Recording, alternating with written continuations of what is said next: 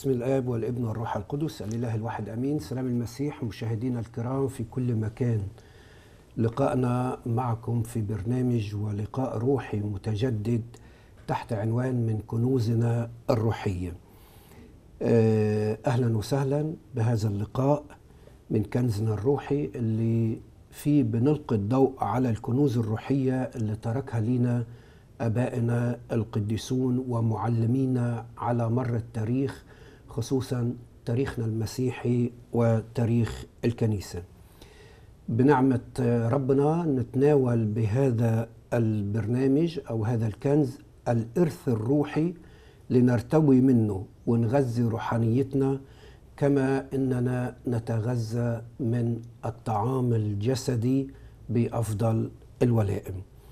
وليمة اليوم الوليمة الروحية نقوم فيما عاشه واختبره الآباء السريان ولا سيما خصوصا بحياة الصلاة العميقة مع الله وحياة التأمل وعيش النسك وعيش الفقر الإنجيلي.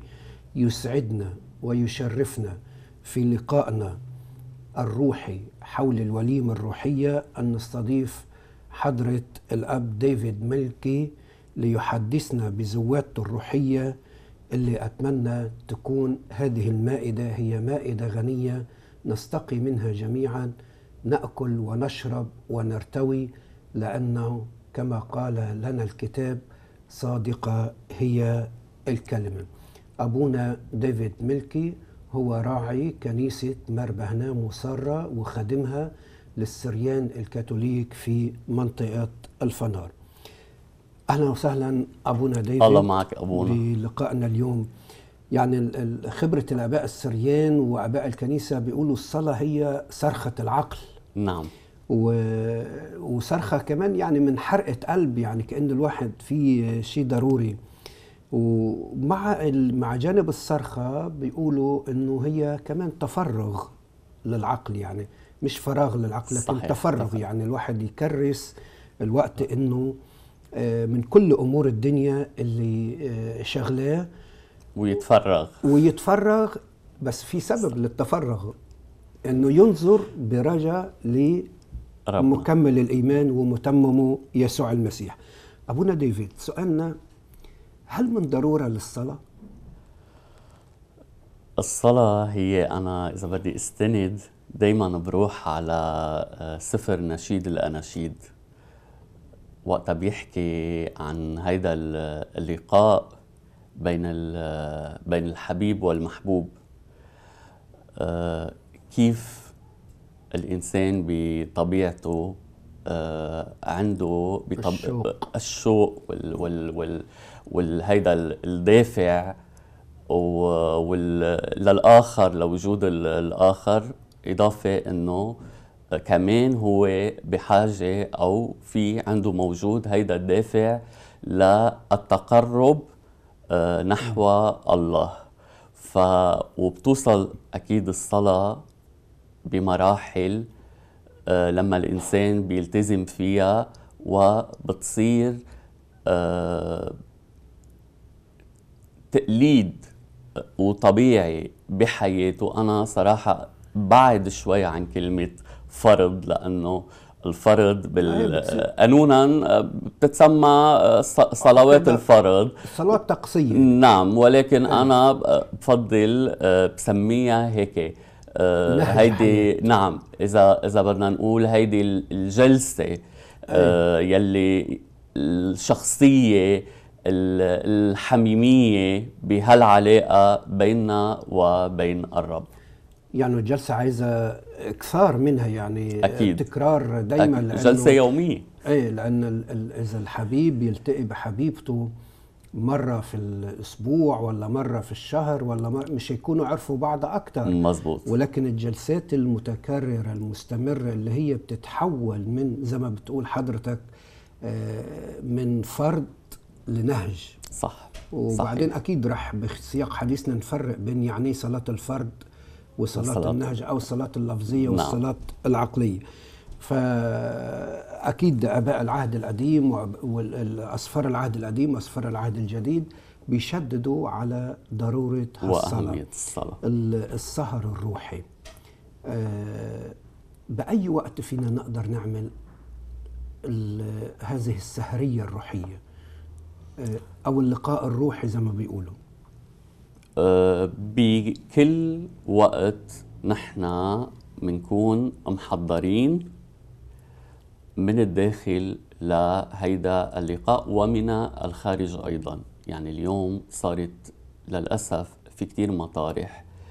آه، ما عم بيكون في الطقس الأجواء المناسبة للصلاة. يعني اليوم لما الشخص بده يروح ويصلي يقعد إذا كانت صلاة جماعية مع الكل آه، بده يكون في هدوء آه، في آه، احترام آه، التزام بقوانين ال- ال- المفروضة للجلسة التحضير الداخلي لأنه أنا آه، فايت صلي فايت التقي مع الله مش إنه أنا بكون فايت بدي صلي وبكون عم فكر بأمور تانية آه، بمطرح تاني.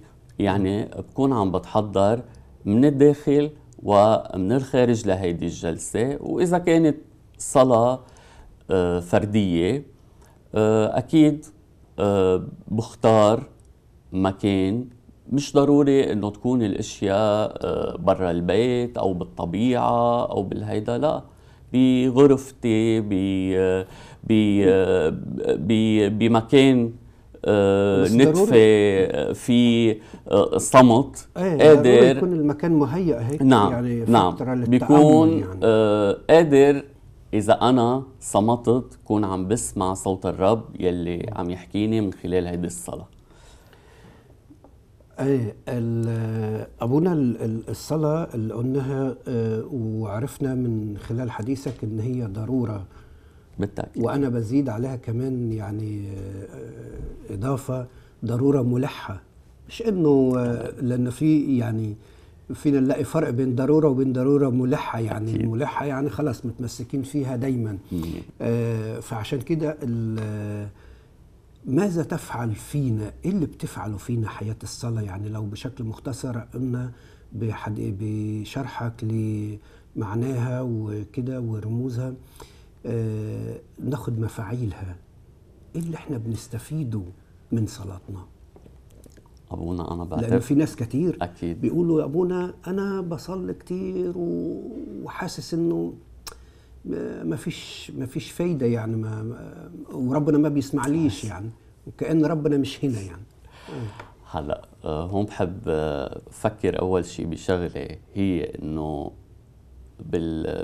بالمبدأ أول شيء الصلاة بتخلينا نحافظ على إنسانيتنا وبشريتنا يلي ربنا خلقها خلقنا آه، فيها. يعني نحافظ على شخصنا وعلى ضميرنا تيبقى ضمير حي وأيضا نكون عم نطبق وصية الرب يلي هي ال- المحبة بابعادها مع الله ومع القريب والأهم كمان إنه نتزود من النعم الروحية. نعم. والنعم أكيد كمان آه، الحياتية لأنه لما نحصل على هيدي النعم الروحية بتنعكس بحياتنا. اليوم نحن ما بنصلي بس إنه مجرد إنه بنصلي ومنسكر الباب وبنظهر آه، خلص بصير كل شيء بالنسبة آه. لنا نسيناه إيه إنه لا الصلاة بتخلينا نضل بهيدا ال- الرابط وهيدا ال- التواصل آه، بالعلاقة من خلال آه، من خلال علاقتنا مع الله يعني بالصلاة م- بيبقى الرب موجود معنا وحاضر فينا بكل لحظة نحن عم نعيشها. إيه كمان أبونا هي يعني آه، مش بس العلاقة مع الله يعني العلاقة كمان مع بعضنا البعض مع أكيد. مع أخويا الإنسان لأنه آه، الحبيب والحبيبة اللي اتكلمت عنهم ببداية ال- لقائنا واللي بيتكلم عنهم سفر النشيد الأنشاد آه، صحيح بيبدأوا بشكل شخصي. صح. يعني كل واحد بيكشف للتاني آه، مين هو قدراته إمكانياته محبته آه، استعداده آه، ودي كلها من الأمور كمان اللي بتعطينا نحن دافع أن نهيئ صلاتنا. نعم. يعني أنا اليوم لما أقول عندي صلاة آه، بهيئ نفسي وبستعد. ليه؟ لأنه أنا رح أقابل الشخص اللي هو بيسمع وجعي نعم. ويمكن ما يدينيش جواب بال بالوقت ال- الحاضر يعني. إذا نحن نقدر نعتبر إنه الصلاة بترشدنا لقدام وبنقدر نعتبر إنه إحنا في كل لحظة وبيقول لنا الرسول بولس عن ضرورة المداومة على الصلاة والسهر صل- الروحي إيه أكيد. إيه صلوا كل حين ولا تملوا تملوا. آه فالصلاة بتقربنا ب بحياتنا بعقلنا بتفكيرنا بكل احتياجاتنا الروحية والأرضية. مش هقول بس الجسدية الجسدية كمان محتاج يعني إنه بالنهاية كله بيكمل. إيه بنهاية نهذب جسدنا نعم. تنقدر ناخد الوضع كمان اللي بيريحنا في الصلاة. كلهم بيقودونا إلى الله اللي هو سامع كل الصلوات. نعم. أبونا آه، يعني آه، عايزين نشوف إيه هي أبرز النصوص أو الكتابات اللي كانت عند الآباء السريان بتعرفنا أكتر عن معنى الصلاة ومفاعيلها ورموزها في حياتنا. نعم. آه، أكيد ال- الصلاة نابعة من إذا بدنا ناخد من العصور ال- أو القرون المسيحية الأولى آه، تولدت بالبداية من آه، ولدت من من من من رحم الاضطهاد يلي بلشت فيه المسيحية. وآبائنا السريان آه، آباء آه، راب كانوا من آه، من آه، من هيدا العصر. فورثوا ورثوا هيدا ال- التعليم. وورثوا هيدا التقليد بإنه آه، تكون آه، صلاتهم آه، هي عبارة عن آه، شقين. آه، نوع في آه، استغاثة ونوع في شكر. وشكر على أنهم آه، تقبلوا العقيدة الصحيحة والإيمان القويم واستغاثة أكيد كل الرب. نعم كل إنسان دائما بس آه، بحس بضيق أو بحس بوجع. أول شيء بيلتجئ وبيصرخ وبيقول يا رب. أبائنا السريان إذا بدي أطرح آه، أمثلة عن الآباء مار أفرام السرياني مار يعقوب السروجي مار يعقوب النصيبيني مار إسحاق السرياني وإلى آخره إسحاق من نعم من. من الآباء أيه. افراهات آه فهو آه، يعني الأباء كلهم آه كتبوا الصلوات أكيد آه مش إنه آه كل واحد قعد وألف صلاة بعيدة عن خط الإيمان. بالعكس كانت الصلاة دائما بوقتها بتلتزم بعدة أمور آه، كرمال التأكيد على العقيدة الصحيحة والقويمة لأنه بنعرف وقتها كان في كتير هرطقات نعم. منتشرة. فكان آه، اليوم إذا بنبحث بالصلوات السريانية بالمخطوطات بنلاقيها آه، بتركز كتير على على على فكرة آه، الثالوث على فكرة يسوع المسيح ابن الله وبتركز كمان على فكرة مريم. هي والدة نعم كتير تغنى ب ب- ب وكرم مريم. ب- بكتابات وكتابات آه، عديدة بالتركيز على أنه مريم هي والدة الإله فهو كانوا آه، ردا على الهرطقات آه، يلي كانت موجودة وبذات الوقت من خلال هيدي الصلاة بيخلوا الجماعة المسيحية أو الكنيسة كانت تقرب أكثر من بعضها لأنه بنعرف كلنا دايما الفرح بيجمع والوجع بيجمع. آه، بيجمع فإن كانت الصلاة هي فرح أو آه، أو مشاركة يعني نعم. لأي سبب كان آه، يعني نعم فكانت صلاة بتاخد آه، كمان عدة مواضيع لحياة الإنسان المسيحي الروحية آه، منلاقي كتابات كتيرة أو صلوات عن الصوم التقشف التوبة الرجاء المحبة البرارة الجهاد المسيحي آه، الخطية آه، مفاعيلها شو شو دورها كيف بيبعد عنها الإنسان كيف بيعيش هيدا الجهاد ال- المتواصل. وأيضا آه، في شق مهم كتير هو التغني آه، بالفضائل. إن كانت فضائل مهم. روحية آه، بعتذر إن كانت الفضائل الإلهية أو إن كانت الفضائل الأدبية يلي نحن بنعرفها. فإجمالا كانت هيدي أبرز مواضيع الصلاة يلي تغنوا فيها الآباء السريين. ويمكن هي من أبرز المواضيع كمان اللي عاشوها كل الآباء نعم. يعني بكل خصوصا بمحيطنا نحن ال- المحيط الشرقي يعني آه، كمان إحنا كآبائنا الأقباط وآباء كنيسة الإسكندرية واللي لعبوا الدور البارز بتأسيس الحياة الرهبانية نعم. آه، عانوا من الاضطهاد. وكنايسنا إحنا كنايس آه، شهداء. وكنايس آه، بذرة الإيمان فيها آه، ارتوت آه، بدم أبائنا.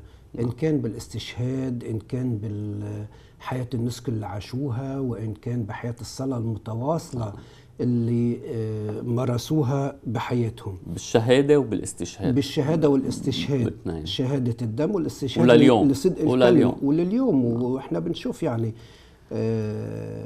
بنشوف إنه المناطق اللي فيها ضيق أكتر بيكون فيها تكاتف أكتر وفيها تعاون أكتر آه، وسندة يعني عونة بين الناس بينهم ما بين بعض حتى والناس بتتلهف على مرواح الكنايس إذا قبل ما نتوقف أبونا مع كده آه، وقفة صغيرة سواء بترتيلة من عندك نقدر نقول لكل مشاهدينا الكرام ما تخافوا إنه تقربوا من الله وتصلوا. تصلوا يعني تنتهجوا طريق الحياة مع الله. ليه؟ لأن الصلاة تشجع الضمير تخلي الواحد ضميره يقظ ضميره حي. اتنين الصلاة بتلبس العقل قوة. وتقوي الرجاء. الإنسان الممتلئ من النعمة يقدر يعطي نعمة. وبيقول لنا الرجل الصالح من كنز قلبه الصالح يخرج الصالحات. إذا نحن وسمينا برنامجنا الكنز الروحي نحن مع أبونا ديفيد كل مشاهدينا مدعوين فعلا أن نفتش عن هذا الكنز. وندخل نتعمق في الكتاب المقدس ونشوف المثل اللي بيعطوه لنا يسوع إنه في رجل وجد لؤلؤة في حقله باع كل اللي عنده حتى يجد هذه اللؤلؤة. وإحنا حقلنا وقلبنا وضميرنا وكياننا في كنز. لازم نبيع كل اللي عندنا نبيع يعني نتخلى يعني نتنازل. ونكتشف كنز الروح القدس اللي موجود فينا اللي خدناه بالمعمودية. وقفة صغيرة وبنرجع لكم مشاهدينا الكرام.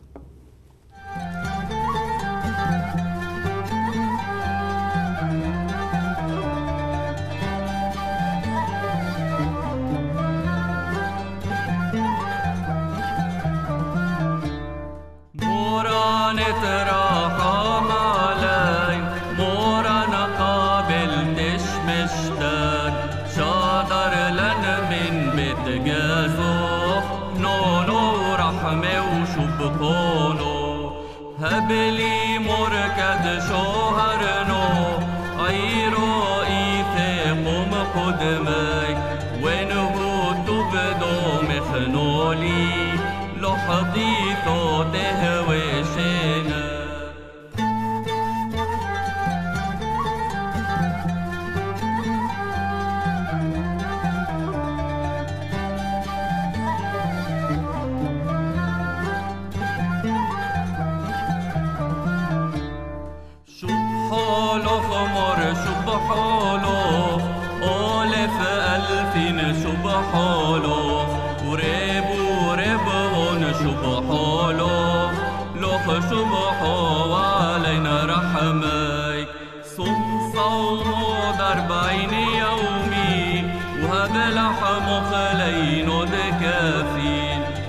وصالوا بيوم شو عذبنين أخدي لفت من باري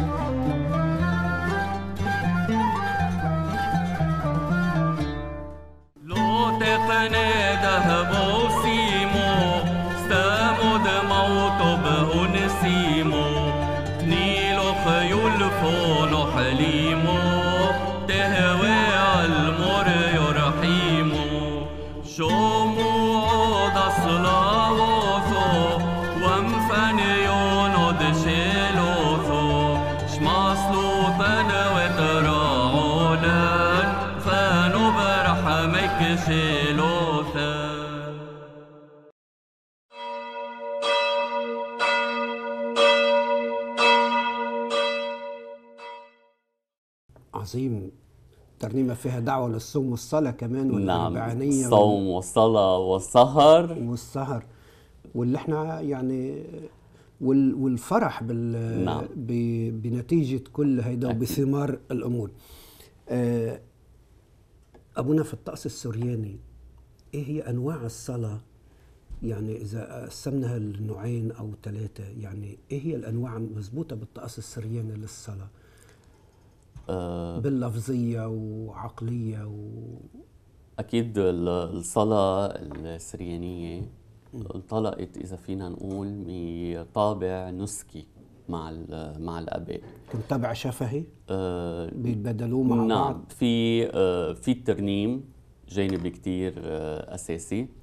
وبنعرف مر أفرام كنارة الروح القدس ونحن بكنايسنا السريانية آه، عنا الترانيم جدا أساسية باحتفالاتنا الطقسية آه، ال- صلاة التأمل.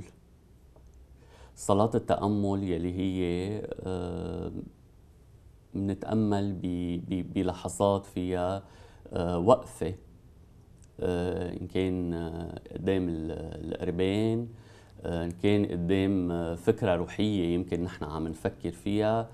آه، إن كان بمكان آه، مهيأ وأنا بعتبر دايما الطبيعة هي آه، مكان آه، مح- محبب آه، مثل ما خبرونا ال- الآباء هي مكان الأفضل كمان حتى نختبر فيه وجود الله من خلال هيدي الخلائق صح.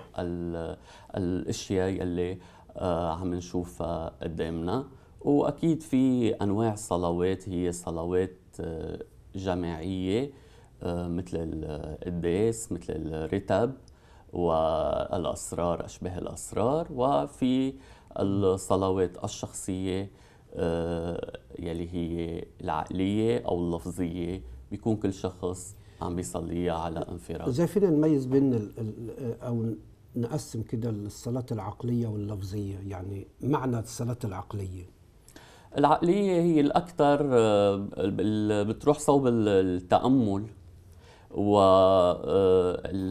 والحواس الحواس القلب ال- ال- والعقل. ال- القلب والعقل والباطن كله يكون بحالة آه، تهيؤ آه، آه، هجرة نحو ال ال الأفضل. ال أكيد أو نحو هيدا ال- الحبيب تيتم اللقاء. الصلاة اللفظية هي الصلاة يلي عم نعبر فيها من خلال آه، الفم النطق. آه والنطق آه ومنكون عم نسمع نحن كمان آه شو نحن عم نقول. فبيكون دايما الرابط موجود بين الكلمة والسمع.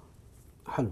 يعني إحنا في الصلاة العقلية بنجمع كل حواسنا في صمت تام نعم عشان نصغي ل ما صوت حبيب. سيقول الرب ما سيقوله لنا نعم. الرب وفي الصلاة اللفظية حركة اللسان وكل ما كلمة بتطلع مننا ننطقها بس هي دي بتكون كمان لها آه، آه، عناصر أكيد. بتشمل التمجيد بتشمل التسبيح بتشمل الشكر وحضرتك ذكرت في بداية ال- السجود الركوع ال- ال- في بداية الحلقة يعني وبتشمل الطلبة كمان أكيد. لأنه في صلاتنا يعني آه، دايما الرب بيفتح لنا باب قدامنا وبيقول لنا اطلبوا تجدوا. صح. اطلبوا تجدوا. آه، اقرعوا يفتح لكم. فهذا العرض الإلهي الأوفر يعني نعم. الإله اللي بيقدمه لينا الرب مش لازم نتأخر عنه حتى نقدر آه، نتجاوب مع آه، دعوته لينا. أكيد أبونا وبحب موضوع مثلا كمان بس مش مش دائما نحن تعودنا دائما صلاتنا تكون صلاة طلب ولكن في صلاة شكر. صلاة الشكر كمان كتير مهمة. وبتخيل في كتير أشخاص لما تعودوا إنه بس صلاتهم تكون طلب ولأنه منطقنا نحن بيختلف عن المنطق الإلهي والوقت يلي ربنا آه، بيعطينا فيه الأمور بحكمته آه، يمكن ما يكون بذات الوقت صحيح. يلي آه، نحن فيه كنت عم تحكي حضرتك إنه إنه إنه إنه العالم بتنفر أو بتبعد عن الصلاة ولكن بالوقت يلي أنا بقدم فيه ال ال ال الصلاة الطلب تبعي وبحطها بين إيدينا الرب. كمان حلو إنه أقدم شكر للرب إن كان على الخلق وإن كان على الغذاء وإن كان على الفداء يلي فدانا هو بدمه أكيد, أكيد أبونا أنا أنا قلت الطلب أو الطلبة ب- بمعنى الصلاة لأجل العالم كله. نعم. ولأجل احتياجاتنا واحتياجات الكنيسة يعني. أبونا بمختصر كده جملتين مهمين لآبائنا السريان عن الصلاة. بتحب تقولهم للمشاهدين قبل ما. نختم حلقتنا؟ أه بحب أقول آه، لمار يعقوب السروجي أه بيقول أه الصلاة أه تكشف الحجب أه عن الله وبها يعرف الإنسان من أسرار الخفيات. الصلاة هي مفتاح البوابات المغلقة والصلاة ترفع من نفس الإنسان إلى الله ليرتقي الإنسان ويفهم سر عظمة الله فهي تتردد في قلب الإنسان وتدوي في أذن الله دون وسيط ليسمعها الله في عرش مسكنه الممجد. عظيم.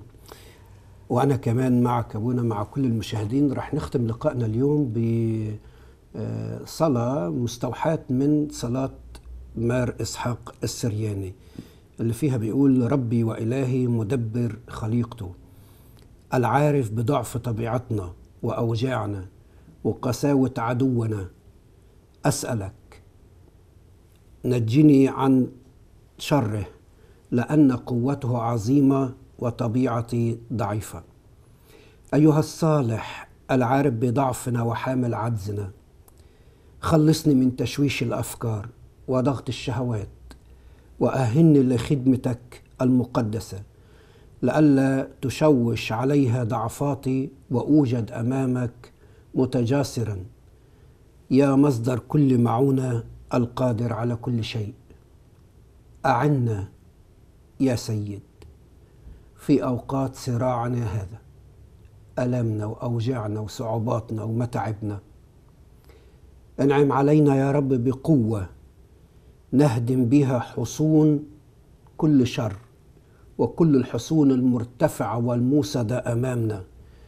لكي لا تمنعنا عن معرفتك وحتى لا تمل نفوسنا عن الغرض الأسمى والهدف الأساسي لحياتنا والموضوع أمام عينيك وهو أن يكون قلبنا مثل قلبك. لك كل مجد وكرامة من الآن وإلى الأبد. آمين, آمين. وألله معكم.